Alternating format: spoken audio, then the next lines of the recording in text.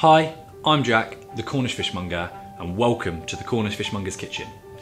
Now, I thought I would just share with you how I would dress one of our Cornish crab. So I've got a cooked Cornish crab here, so it's cooked with me, and this is how it will arrive with you. This is probably a medium-sized crab, so I'd say one nice big generous portion. This is a female crab or a hen crab, and you can see that from the tail piece here, and underneath there they'll hold all of the eggs. So dressing of a crab is um, effectively where you pick the white and the brown meat, put it back into the shell, and it's just great for plate presentation, really impactful, bit of fun, and also the shell acts like a plate so it's nice and easy. So first of all, all I've got to do is remove the body from the shell. So by doing that, I will turn it over, um, pull up the legs, and then on the back here, you just hold the crab down firmly, and then with your thumbs, just push up with a bit of force, you'll hear it go. There we go. And that will break the body from um, the shell. So there we go. Here are, I mean, they're called the dead man's fingers, but obviously they're not. And that is just um, the gills of the crab. So that is the only thing I would advise definitely not to eat. So all I'm going to do is just remove them so that once we get going, everything I've got is completely edible. And there's just a few either side of the body. Lovely, lovely, a little bit, not too messy, but we will get it done. So now I've got all, yeah, now I've got all the dead man's fingers removed. Inside the um, the body, the shell here, this is where all the brown meat is. So I'll just remove a bit of the membrane. Um, throughout the year, the brown meat will vary from where it's been caught, the age of the crab, um, times of the year, the seasons. It will go from being quite a thick um, brown crab, which I've, I've got here, to sometimes it'll be quite watery, sometimes it'll be quite a thick orange colour. Um, it will it will vary. Sometimes there'll be quite a lot in here. Sometimes there won't be very much, and it does all just depend on the season. So you need a crab pick, but I don't have one. So just the back of a teaspoon is all you really need. It's nice and small. So all you do is just get the brown meat, you get in there and just mix it all up. Get everything out from the shell. Um, there will be maybe a little bit of membrane and such that you just want to remove, but um, chop all the brown meat out. That is all absolutely fine, ready to eat. The one thing I would remove is sort of the mouth and the head, and that's just in the front of the shell here. And you just want to get your thumb and just clock that out simple as that really, nice and easy. There's a little bit there, a little bit there, um, and just pull those bits out, just not for any particular reason, it's not going to hurt anyone, but it's just not very nice to have it there. And then there is our brown meat, all in the shell. Doesn't look, I'll be honest, doesn't look that most appetizing, but that is just pure crab flavour. Um, the white meat is really delicate and sweet and luxurious, and the brown meat is far richer far stronger and really has that strong crab flavour. I love the brown meat. Um, as you can see, I haven't got too much brown um, brown crab in this one. It's a little bit thick, um, so just break it all up and you've got it in there. So that is the brown meat sorted. I'll put that to one side. So now we're at the white meat. So I've got the main body here. The white meat, as in the claws, the legs, and the main husk and the body. So to pick it, I would just, you just want to break off the claws, which I will do now, away from the body, and then just want to break off all of the legs, all eight of them. Perfect. Just a nice little twist, get that joint out.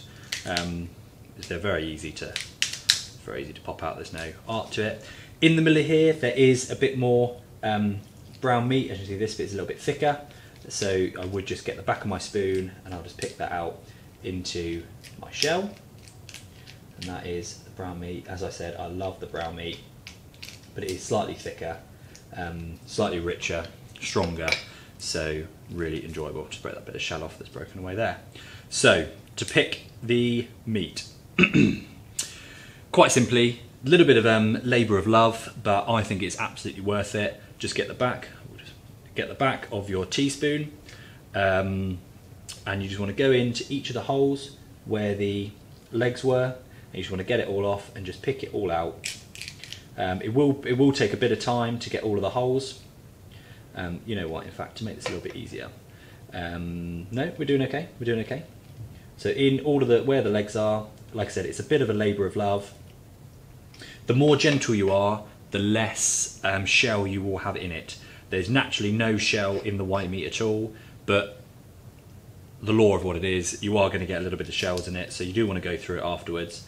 But it is just um, the more gentle you are, the more time you take, the easier it is, and the less um, shell you will get into the um, into each of the into the white meat. So again, this side, you know what, to make it a little bit easier, I might just break off the tail. So that's the tail piece. In there is where they hold all the eggs. I'll break that off because that just makes my life a little bit easier. You can see what you're doing. You just want to go away and pick into the um, into the husk, into the body, into all the joints. Um, it will take, as I said, it's a bit of a labour of love. It will take a bit of time, um, but it is definitely worth it. As I said, that white meat is so sweet, so luxurious. Um, it's absolutely delicious. So I'll just do that now. Break off any things that are in the way. And as I said, you just want to get the back of the teaspoon and just pick away at the body.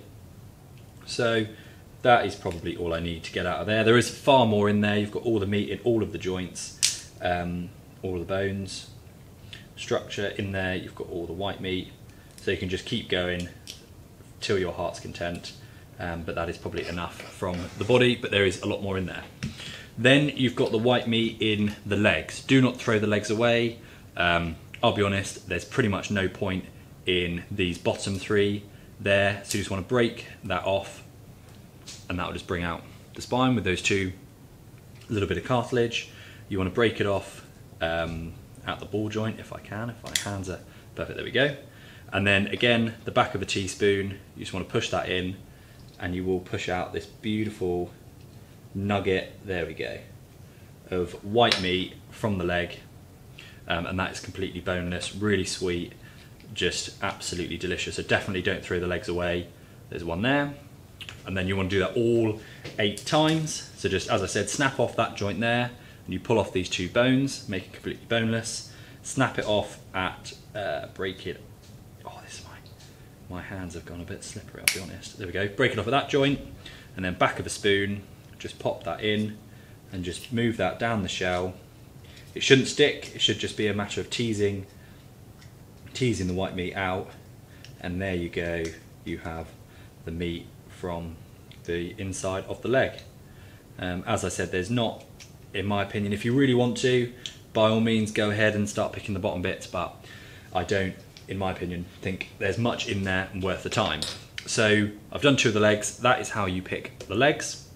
Then you've got the claws. Now this is where the majority of the white meat is. So as you can see, you've got white meat on these spines, just pull them off. So this is where we've broken it away from the body. The claw sat, give or take around there.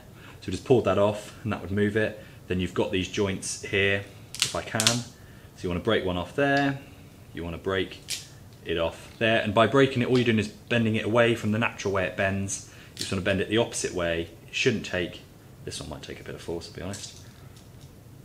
We might not be able to do this one. I would normally use a hammer, but I don't have one. God, we might not be able to do this one.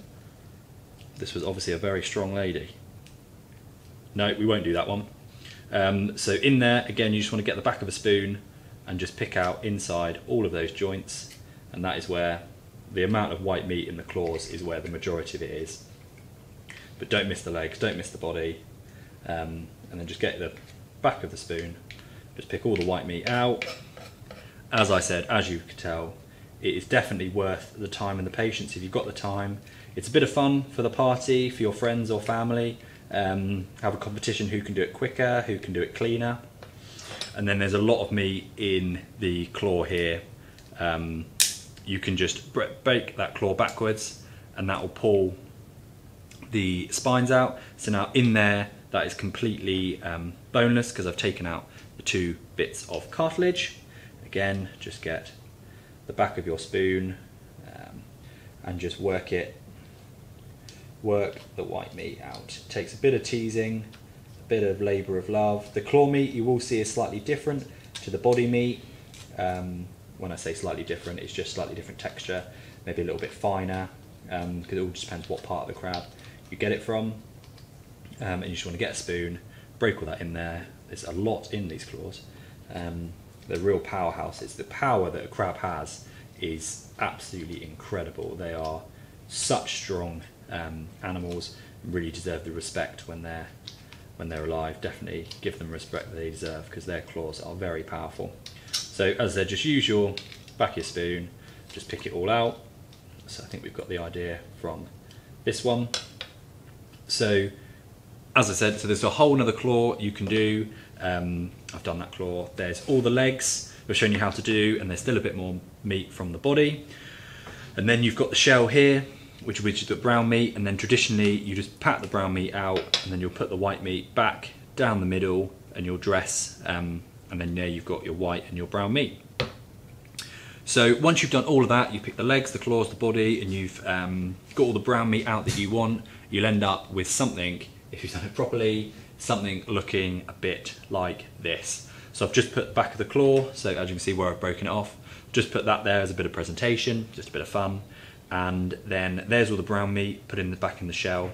There's the white meat, and there's the claw, and that is ready to go. You've got your own plate. Um, nice and easy, perfect for picnics, take around one per person, and that is how I would dress a Cornish crab. Probably a lot quicker than me, but we've got there in the end, and it is definitely a labour of love, but absolutely worth it. That white meat is beautiful, sweet, luxurious, and that brown meat, as I said, is nice and rich. And mixed together, I think it's just perfect. And Cornish crab is world famous, as we well know. So if you want any ideas um, on what to use the dressed crab for, or just crab meat in general, you don't have to redress it. You could just pick pick the meat and have them separate. Do have a look on our website or pick up the phone and give us a call. We're always happy to help.